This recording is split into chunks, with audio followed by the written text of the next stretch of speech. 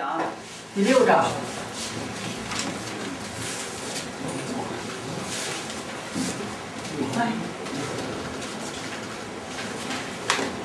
如何具体状况？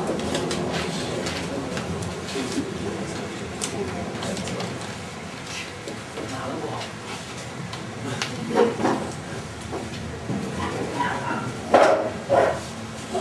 如何具体转化？首先，我这节课是讲的断化思维啊，讲什么？断化思维。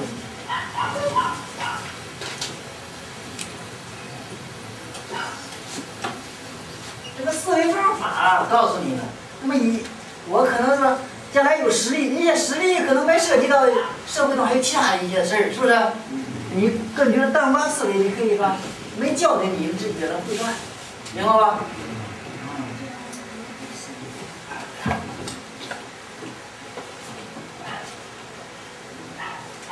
断化思维其实就是一句话，哪一句话？事儿是怎样办的，话就怎样断。结合社会实际情况。事事儿是怎么办的，话就怎样断。这句话好像挺简单，但结合起来就难。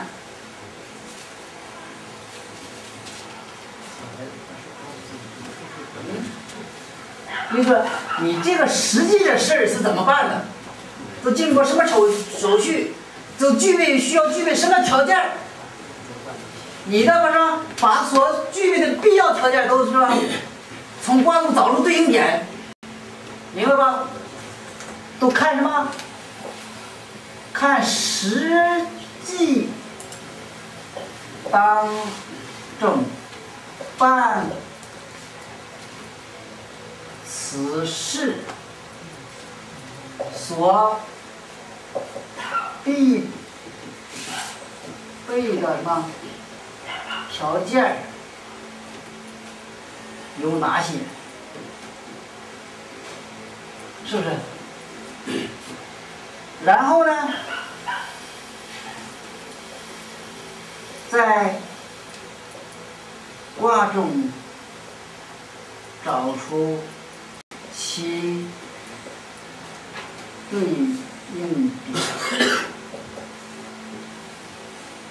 找出其对应点。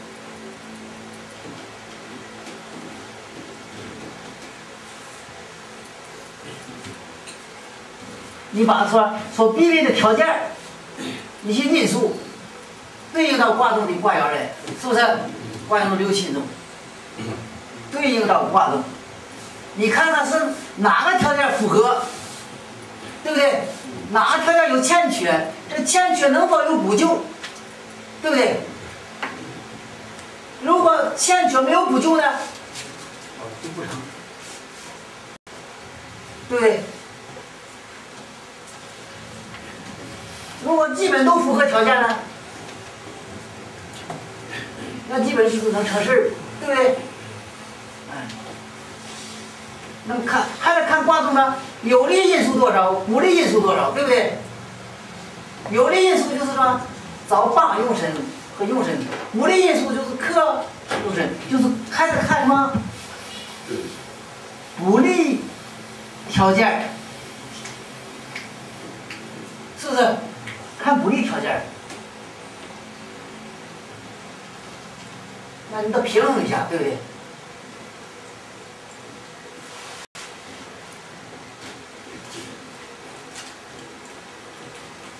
你看，举个简单来说，求官。首先在现实中，你想在现实中受官，又需要几个条件？不是那么简单，就是说，你首先它一个必备的因素，你自身实力是最关键，是不是？对不对？就说自身的什么当官的什么素质，是不是？有自身的素质，还有什么运气？有没有这个运气？是不是？对不对？你是走上，你是走王官运呢，还是走什么商官运？对不对？那有的人在某段时间呢，可能他能力还是那么能力，但是呢，他有段期间就升，有段期间怎么弄也升不上，对不对？就是个人运气问题。这运气来自于哪了？日月见给的，对不对？日月见，日月见。有人倒霉的时候，喝不凉水的时候都塞牙。你像人求财一样，有的时候在某段时间这十年呢，怎么干都用钱，都没怎么细去考虑，是不是？那么后来呢，干同样事儿，越干还赔了，有没有这样人？有。他本来都有经验的，但有这方面经验，他妈的干赔了，就是不走这方运气。所以这个运气是实力、素质和运气是第一位，对不对？第二呢，看官僚，对不对？是不是？这就是个职位儿，和你是否有缘，是否有气，是不是？职位是否有缘？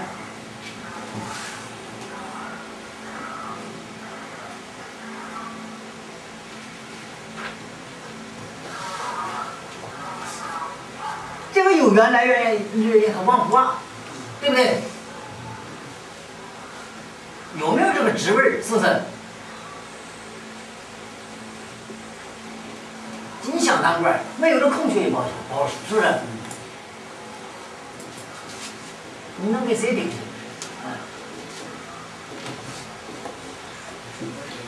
这个这个官也可以看作一种官运，是不是？是不是？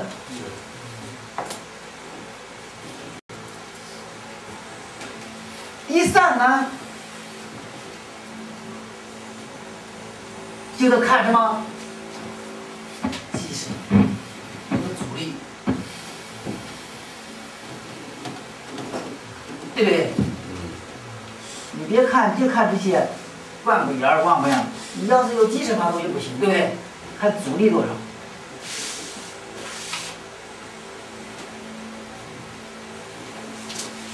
如果这个呢？没有阻力，只要不发动，官要旺相，事要有望，这就有希望，对不对？这两个思维基本就就有希望，对不对？是不是？哎。那么其他的详细信息，也是也是辅助的，对不对？你把这两个信息最主要的两个因素抓住，就是因为首先具备的条件，它社会一个自身能力，再一个。他有一个什么管这个这种运气，不管是否有缘，对不对？再就看什么有没有当官的阻力，阻力大小，对不对？如果他暗地旺相了，你不怕；只要有人反对啊，也不怕，对不对？但是如果光阳如克氏呢？克氏也行啊。也行，正旺只不过经过争夺也可以得，那是兄弟之事，对不对？只不过那种得意口舌也可以当，他不管克氏还是胜氏，只不过是你得的容不容易而已，是不是？光要克氏时，你得的不容易，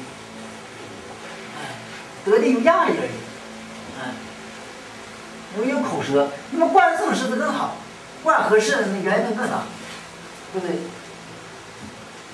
如果这个冠入木了呢，完了无缘了。官被受他起来，就是没有这个冠运了，对不对？所以这个这个冠要代表官运，懂不懂？哎，这官运入木了，说没有缘。要封口呢，妄想封口呢，说明暂时这段期间没有缘，但是过了出宫以后，他就可以永久的不带空了，是不是？但是入木了不行，入木属于什么？你是永久入木之相，只要说哪日月间凑一下，就是暂时，你要当一天两天，再再再再回去了又不干了，老师，也就是说日月间入，就是旺也没有办法，入完也对入木就就就算就搁置了。也一点也没有办法，对呀、冲了也没有办法，那你冲了，除非原相冲，啊，除非原相冲，哦，原相冲，原相你入月木，日间被冲开，这就永久出来。如果是入日木了，你就是入定了。说进行死哪一个是冲着，那就不好说。为什么你这卦好，这个日金星死这个日冲出来，冲出来，你过了这日它又会出来。那当官的咱们不能说当一天就对了，对不对？他不是当一天，所以这个入木就完了。那个入木、月木和日木有啥区别？我讲清楚。入日木你没法解，啊，日木要入日木就这个就就。你哪能解？原相解不了了。啊啊啊！入月木有可能日间能解，对不对？你入光木阳木，那可能日月都可解，对不对？你的原相有解，风控倒可以，因为过这个日子它就出空，是不是？它就不再空。这木不是，再一个风合也不行，为什么？原相风合被解开了。那就是一个这官被别人喝走的香，对不对？那你也没有你你的份儿，对不对？是不是？入木风合都不行，他没有你的份儿。分割变别人的，对呀，被别人喝去哪有你缘分去？是不是？那官位被别人挣，和别人有缘，那也不必。也就是说，这官和事要能否有联系？生克生活都是联系，入墓了和你联系不上，是不是？被合走了，他没有什么钱，跟你也联系不上。啊？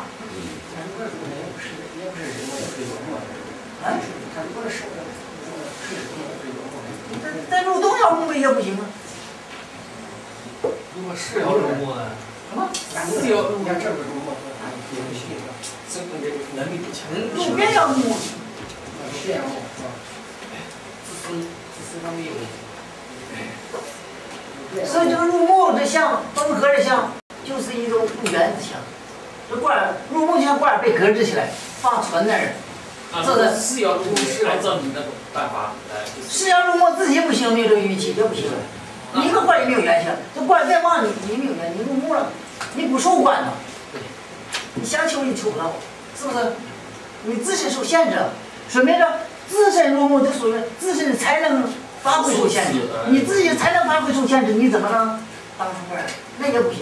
所以你看，要想当官儿，条件很多，你还得是要什么妄想妄想，得什么有这个能力，不入木，哎，你还得官要什么没有有妄想，妄想哎，还得什么呃和是要能产生关系，是不是？你才行。你这个一方不产生关系就不行了。所以要你要是精神发妄动了，把官这就他也不行。所以要想当官挺难的，但是要想把这官没有了是很容易的事儿，任何一个条件都可以。哎，这就是说我是不是根据实际怎么看？关系怎么办？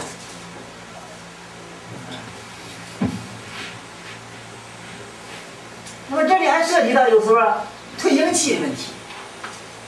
退行期你还得结合实际，还得结合实际。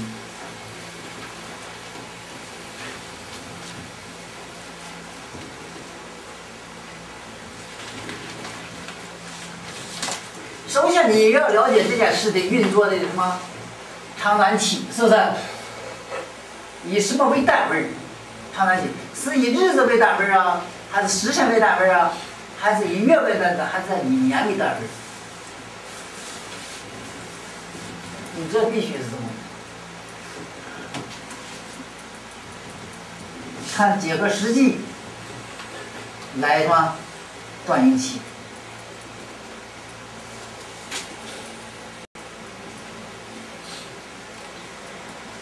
年内的事儿，以什么月来推行期；月内的事儿，以日子来推影气，日内的事儿以时辰推影气，明白吧？周上的事儿也以年推影气，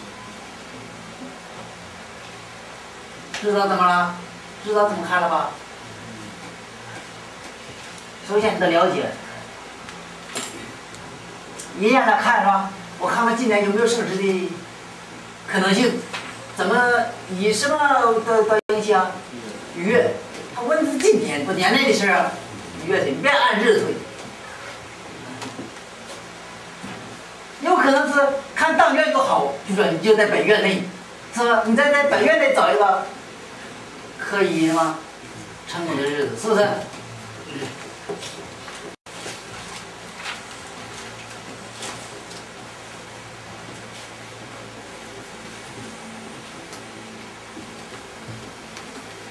看看，看看我这个，嗯、哪年呢？能有机会往上走一步，是不是？这是去，这是断应期应该什么？你月还是年？年年。问的是哪年？告诉你应期嘛是，对不对？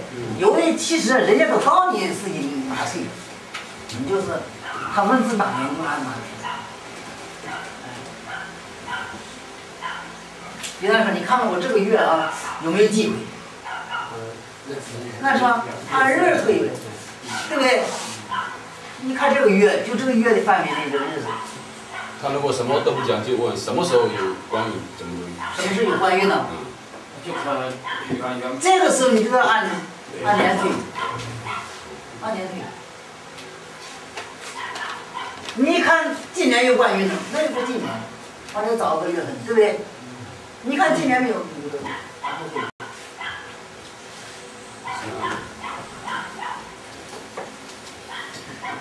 所以有的事啊，你预测是必须得问的，就说你得问清楚是吧？你知道这个事儿来龙去脉，你就是是怎么看。还有些事你都不知道怎么办，有的事儿，比方说有那想租个船，或者他经过多种手续，是不是？那么这个船国家是怎么规定的？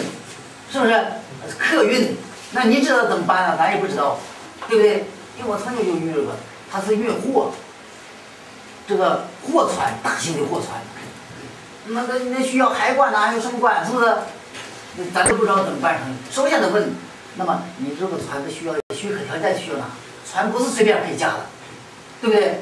许可条件，个人的运船的需要条件，包括企业都需要条件，需要经过哪些步？我我都我都仔细问他，哪几步？完了申请需要多长时间？按惯例。完了根据这些条件。我对应到挂钟，然后找可能性的信息，多少人这个事儿能下得来？要不然你不知道啊！你不要这迷迷糊糊自己就开始断，那谁知道那个船那个事儿怎么？你咱人也不能神，对不对？那有事你就不知道怎么办。就像你其实断卦就像社会中办事一样，咱办事不要盲目的去就开始办，找谁都不知道。首先打听好。这个事要找谁办？经过哪个部门？是不是？你得问问清楚这条路，打先打听好路，先打听路。你知道啊，这个路都经过谁管理？找哪个部门？是不是？去办，怎么办？而且每个部门都需要什么证件？对不对？你对应的话，你才行。你这样问呢，他一般都会告诉你的。你不要装神了，你自己啊，不问，不好意思啊，自己断定性要拉断了，这个事儿不知道怎么办，是不是？你一问我看我到这条船，什么是手续能下来？你就看个父母呀，他不是，你刚办不下来怎么办？对不对？他问能否办下来这个手续？看结果不用，那么就看你这个问题卡壳在哪儿，是不是？你对应一个什么？海关是吧？比方说还有什么政府，还有营运，是不是？还等等一些一些什么？还有工商，是不是？哪个条件具不具？差在哪个条件？你的你才能办。那么在实战卦中说，你这个事儿越简单，这卦象越简单；你这个事儿越复杂，你的卦分应点它就越复杂。这个事儿有多简单，卦有多简单。所以你这个你所求的是，你国家把这个手续简化了，卦也简化；国家把这事搞复杂了，你卦也得复杂看。嗯，像中国，呃，在建国初期时候出国。那不容易，不允许随便出国，是不是？出国弄不好，你就走资本主义道路，迷途外国，对不对？那时候你要你要出国，首先你这是什么？你这是国家的有什么？有工，工作有都有一定的工作人员，是不是？哎，而且还得有什么？一定的有一定名望，是不是？哎。还有什么经过什么呃呃办证审查，这一下来也得半年，对不对？才能出国，卡的特别严。那时候你要断这个出国的话，那事业的旺，说明什么？这有出国这个实力和名气，还有官员的旺，就是这有一定信誉度。国家不信任你，是不是你没不用出，对不对？嗯，还有什么？呃，一些。嗯，比较具备的财力，是不是？还有一些什么父母爻代表什么？你这个证件等等。那么现在出国简单了，国家的要求宽了。啊，你我想旅游出国，啊，可以，只要你是吧事爻不被合，妄想不被合，就能脱得开。但你就说，你谁想出国都是不不不不差钱，是不是？就看事爻是否被合住了。只要只要不被合住，你想出国，就行。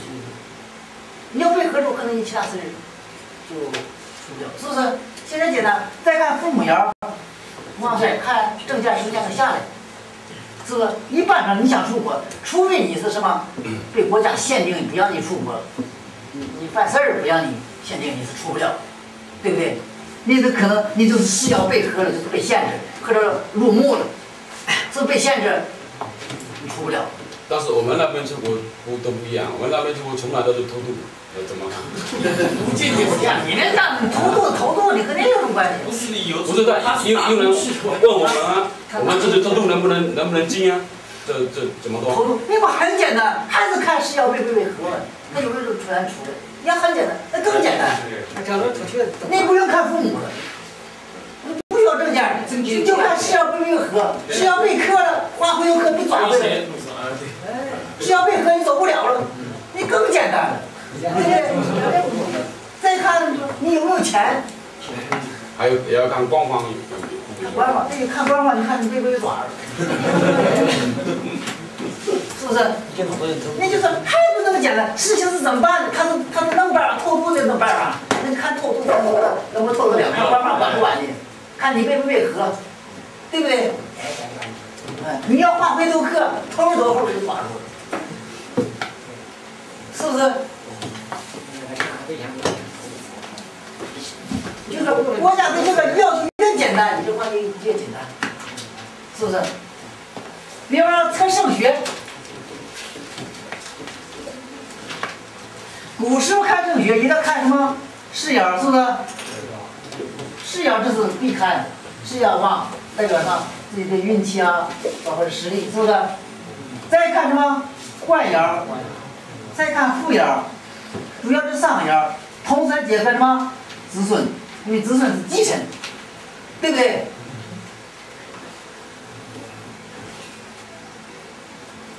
子孙继承，夺官，是不是？比如说子孙其实名落神山。哎，因为再早要是，呃，那叫中举，是不是？再早为什么必须看官僚呢？你考上了，一方面有名，另一方面考上就有职位。哎，再早考上就有职位，就相当于一份工作，一份职，是不是？对不对？所以这个。现在不是，现在你考上大学也不见得有名。这官不是最重要的，是不是？那么看父母就是成绩，是不是？嗯，你成绩得有，所以官父事业一等旺，所以官父事善旺，不受子孙要克，子孙要克也不行，课哪个不行？也材料也，你说子孙要不，有一把材料东西课是吧？对不对？所以就怕这俩，如果这三个条件都符合了就行。现在要是升学，那不用看，不是名校不用看官。为什么？你就不是名校，你升上一本二本呢，有时候你升上去国家包分配。如果在国家包分配的年代，必须看官员，因为你升上就就保证上是国家职位像我这阵念书的时候，还是有还得看官员，为什么？我升上就是国家职工啊，我可以分配，我这个我是包分配的。那你没去吗？啊？没没没去吗？我怎么没去啊？去了，我干啥？我都上班了，学习调职了，什么？是分配了。现在是三长。现在不是哪？所以那时候我那个时代还在什么看官员，因为你你升上了就有了，就可以包分配，包分配，这就是说就有工作了，是不是？咱不一定是有工，就有工作了。所以副官事业的，现在是国家的什么大学不管分配了，是不是？名校为什么？名校一方面有名，名校只要你有名校，基本上你下大学都有人要。对对所以他还得考。你像北大、清华，你考上不带剩下的。哎，但是名望都抢着要。哎，你一般的其他学校二本的、三本的，全下来都是满街都是，谁要你？所以现在不要看官，二本、三本。你要是看，如果官旺、父旺、士旺，他基本上考上一本，甚至是名校。要是这不旺，这旺可以考上二本了，或者三本，不旺是旺，明白吧？哎，如果父母不旺，你就别看了，什么也考不上。花钱，你要是财要旺，你就自费吧。不要自费。哎，财要旺，父母就自费吧，也不是考的，拿钱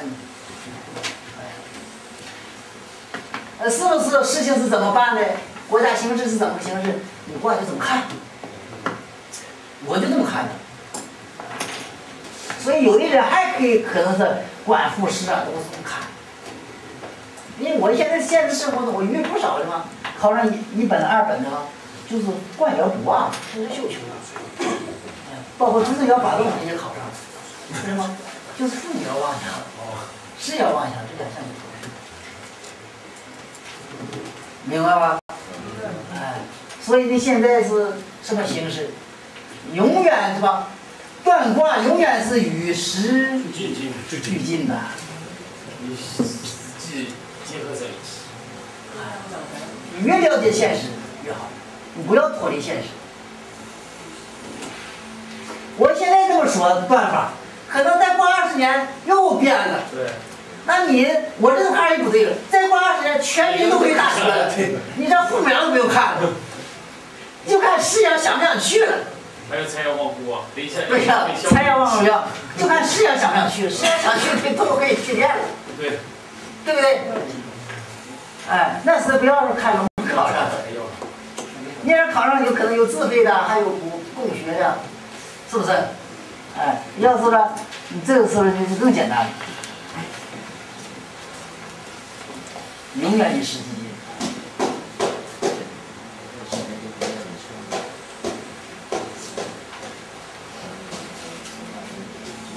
再一个，你比方说，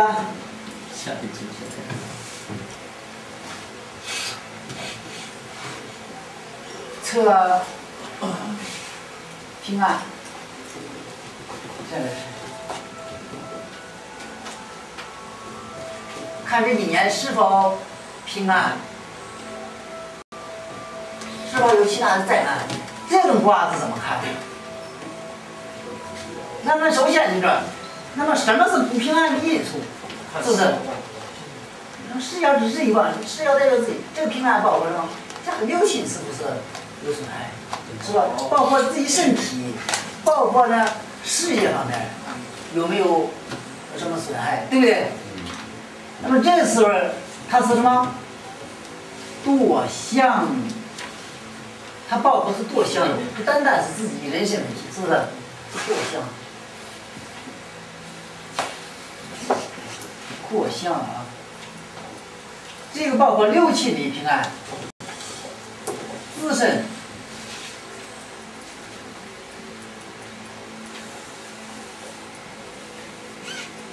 再一个什么？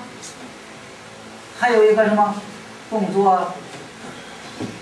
事业上的什么闪失有没有？是不是？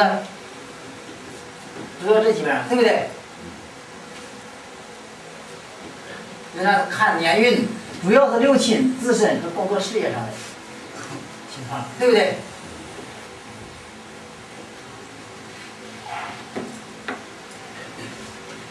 其实这样的卦最好的是什么？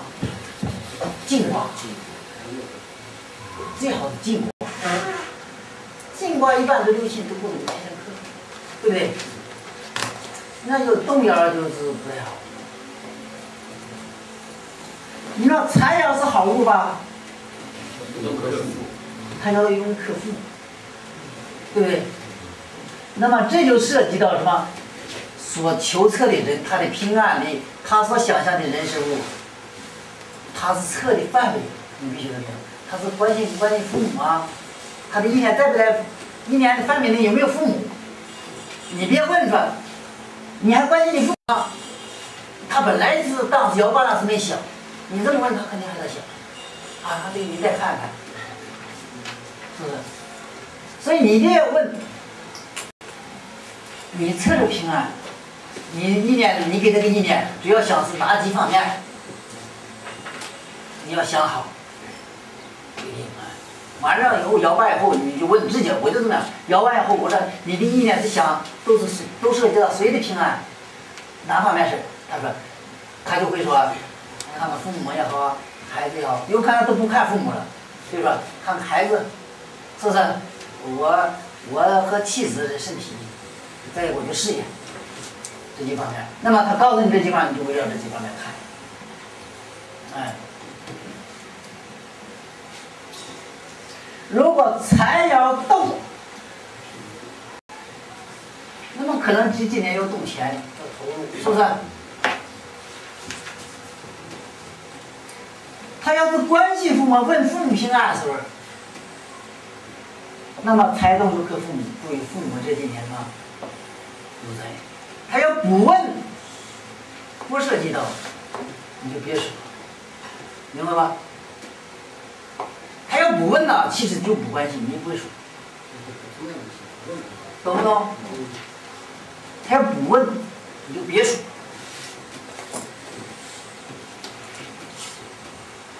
首先，把他自身的情况说一下，完了你再问，你看他问不问吧？就是你把他自身说完了。你看他问不问？他不问了，就基本上不关心。他还问他自己的事，不要断他自己。明白吧？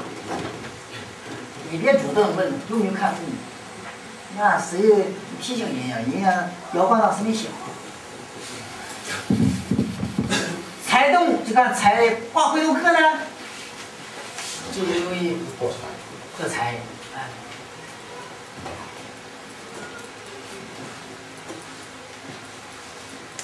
那么这财动他问气子，就是气是有动性，对不对？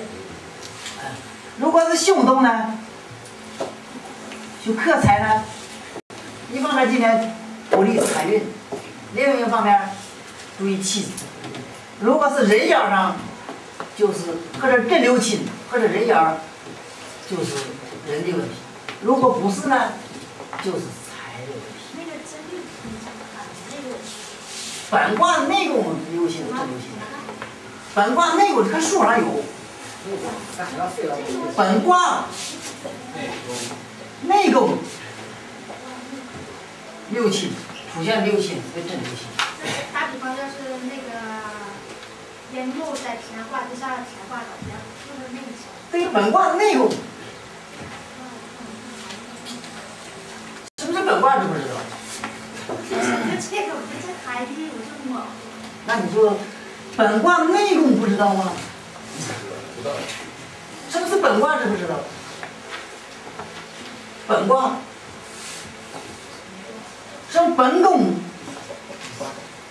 这都不知道。那打比方，打什么比方？我记得孩子有许多是文化这是在哪里？正卦就是一个八卦，每一卦都有个手工卦，啊，前边一对这些手工卦，它是八卦的下来分的了，分八个，除了手卦以外，还有七个什么卦里，对不对？七个卦里，其中有一个什么？如果是乾卦，咱比方比乾卦，乾卦里有个是地天泰卦，天地比，地天泰卦，这个乾卦什么？这里是个天地，地天泰是乾卦吧？是不是天地现？在不是，是不是乾宫？首先是乾宫卦的，是吧？天地痞是天地痞，这是本宫内卦是没有没有乾卦，本宫没有内卦，有的本宫有内卦。首先搞看本宫内卦有没有流星，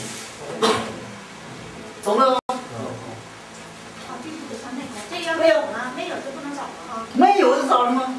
打比方要是找人木，人木呢，你说没有还得看什么？如果说你这六亲是在外面，可以外挂本宫来看；如果不在外，在家里没有呢，怎么办呢？超找福神看有没有，再找着福神，找福神是什么？谁比方说子寅辰，你找着福神打。比方这里再找人，别，你听我说，找夫人有没有？找夫人有了，就这个这个夫人就死了。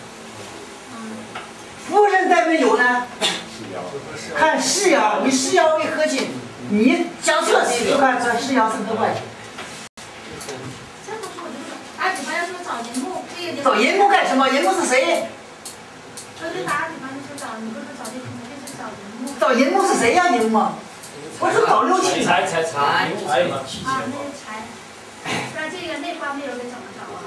内卦没有，你要是这这宫卦肯定内卦有，内卦可以导出来，可以导福神呢。内卦没有导福神，对不对？福神没有看世爻。还有就是说生的嘛，财首先看内卦水没有导什么？福神。内卦有直接就用了，找福神，对不对？福神没有。没有。以四爻为中心，以事爻为中心，按照是你说这六亲的生克关系，我生我者为父母，我生者为子孙，是不是？与我比劫者为兄弟，和世爻比劫的，哎，克我者为官鬼，克世爻者为官鬼，就是这样，就这个，就这么简单，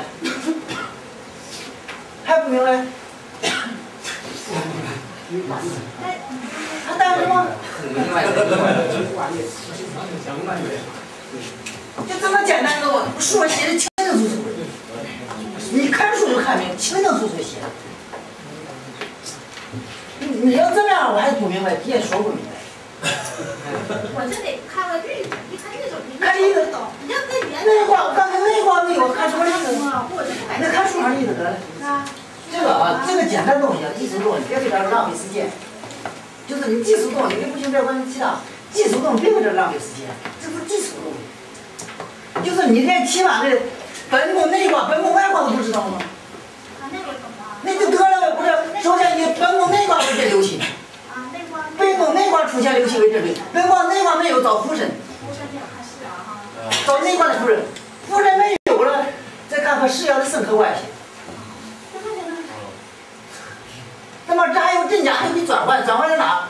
如果这个人是在家内，你是怎么了？如果在家外，就找上本宫的外卦，哎，外挂，就找外挂就可以了。外挂没有了，再找外挂，再找福神，是不是？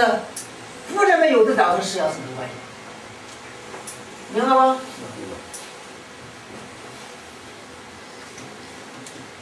这其实没有什么。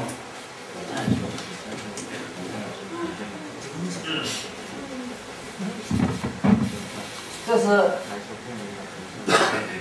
那么，这个呢？平安，如果是要受克受卦内克，这一年平安就自身平安。有保障。是要授课，自己平安没有保障。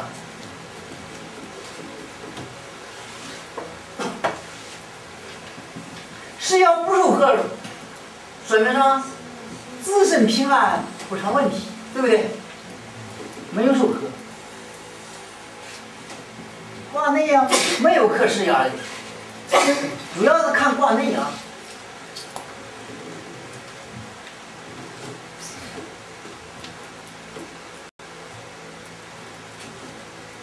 你要测六气的时候，就看到想看气是怎么样，看财爻，对不对？看财爻有没有什么受克的？哎，财爻不受克呢，说明什么？气质安全不成问题，对不对？受克呢就注意安全问题。哎，通过真假六亲是看是是到底是物受克还是人受克，对不对？如果是真六亲呢，有可能又是人又是物，对不对？又是钱。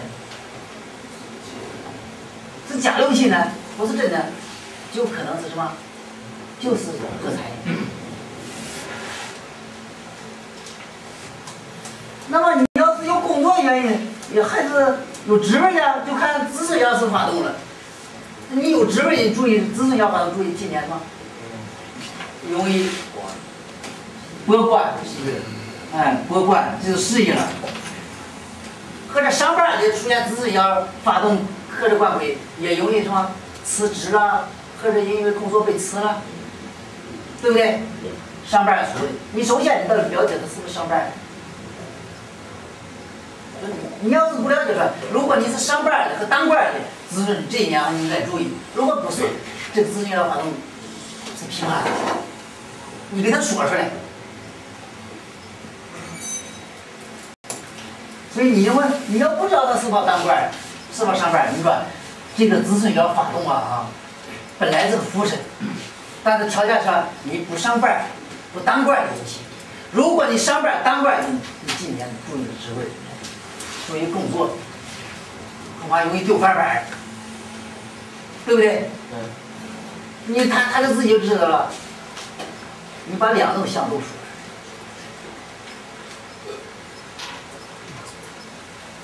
你看他是自由业，无所谓了，自身要发动就是财源。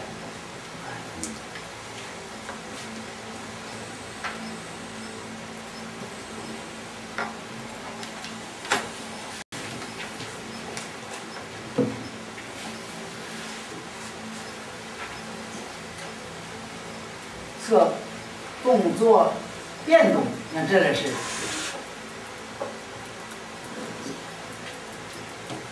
它能否变动？这个一定要了解什么？根据实际，你要了解它的变动，一是调往别的部门啊，还是什么在本部门？再升一级，是不是？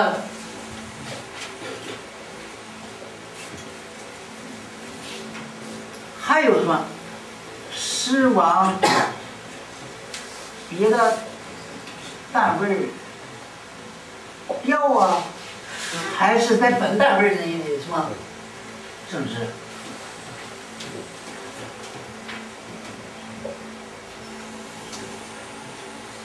还是在本单位？工作职位调整，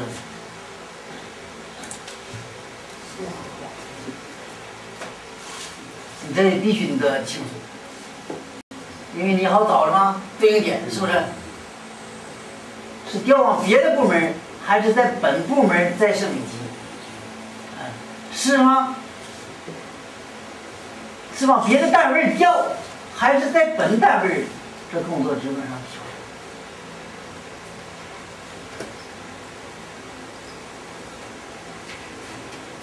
往别的单位调啊，麻烦，是不是？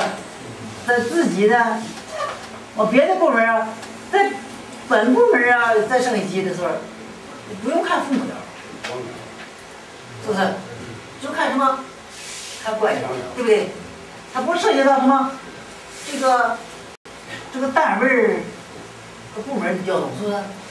不涉及到。看官员、事员这两项，官事，也不用看完全看父母的调令。现在有的生活跟哪哪有调令？是不是？有调令吗？有。是不是？啊？动时，你像你像私营企业，或者或者有一些企业性根本没有调令，就叫你去去，是不是？可能一些国家一些其他正式单位可能有调令，是不是？可能都不一定级别的。你要是本单位内部的小职员，还需要调令，是不是？可能调令属于什么？国家机关把你这个人调上去，他有调令。是不是？比如说，市里、省里就把市里人调人，就需要调令，对不对？就是我省里想把四人调去，需要有一调兵。但是我单位内部这些管理条件要调兵吗？不需要调兵，因为单位内部讲，他说你用你就用你，说给你拿就拿呀，对不对？不需要调兵。所以这个调令啊。调令，你要用调令都够级别，对不对？你像军队之间的各个职务的什么，大的这个军队从这个，你从这部队过来，你到那个部队管，都需要调令，是不是？你从这个省移到那个省，那是不是都需要调令？是不是？咱一般的企业内部，还有一些叫做厂子内部，不需要就看官僚。啊，要调动单位儿，还要事要不配合，你合住了你也走不让你走，是不是？还得么？父母要不会合，父母要配合，单位不让你，是不是？因为调动这还得看官员工作的一些性质变，是不是？所以你要调动单位儿是吧？是要的看，父母要要官员都得什么？不会合，是不是？有一项配合都很难，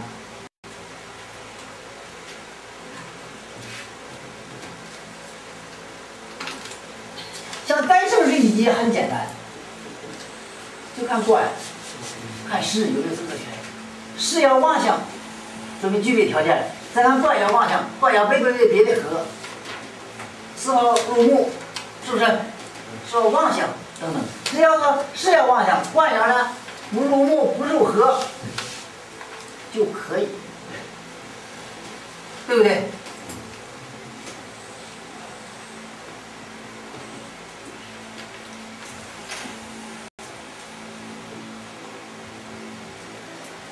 像工作调动，我工作想调动，但是不换单位的时候，还就看官窑不没配合，官窑配合那就调动不了。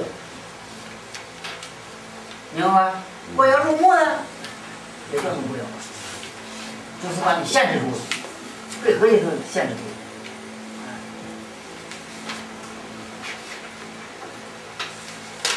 所以你这个事情有多复杂，话就有多复杂；事情有多简单，话就有多简单。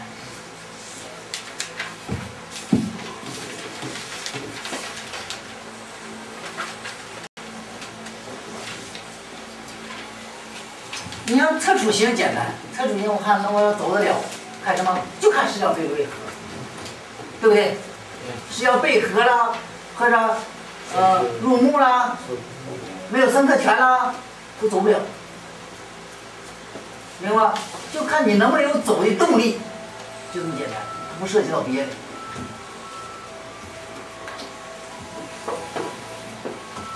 那么明天呢，就是讲一些。每一种事怎么断，我都给他列出个，然后招呼法条怎么断，明白吧？哎，各种事情呢，就是具体一些，联系实际怎么联系怎么就断了。哎，今天是讲一个思维，你有这个思维以后，有些事情啊，我没涉及到，没讲到，你就可能去断。